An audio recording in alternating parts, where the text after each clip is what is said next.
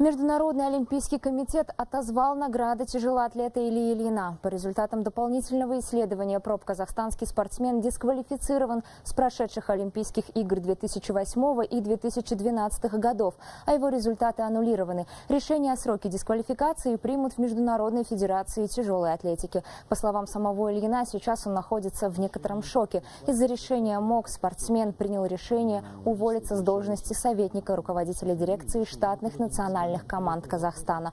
Обвинение в употреблении допинга он по-прежнему отрицает.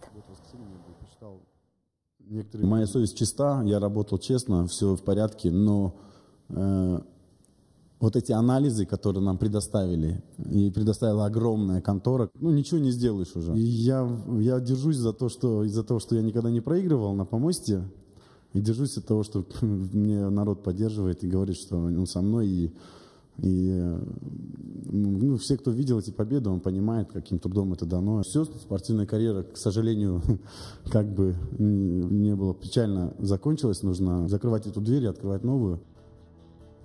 Позже Илья признался, что окончательно покидать спорт не собирается. Более того, если срок дисквалификации окажется маленьким, то, возможно, спортсмен даже соберется на Олимпийские игры в Токио. Напомню, ранее МОК лишил золотых медалей тяжелоатлеток Светлану Подобедову, Зульфию Чинчанло и Майю Манезу и серебра борца вольного стиля Таймураза Тигиева.